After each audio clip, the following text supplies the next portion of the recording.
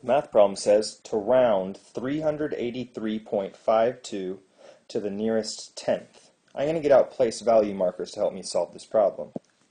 Now I'm going to write the number in the place value markers. 383, decimal in between your ones place and your tenths, remember, 0.52.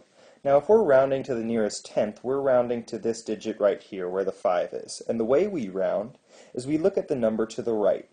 And if that number is 5 or above, then it means that we have enough to round up, moving that 5 to a 6. If the number is 4 or below, we don't have enough, and the 5 stays the same. As you can see, the number we have is a 2, making it fall in the category of 4 or below. That is not enough to change our number, so it will stay the same. Now as you could see, I didn't touch these numbers over here at all, meaning that they stay the same, 383.5.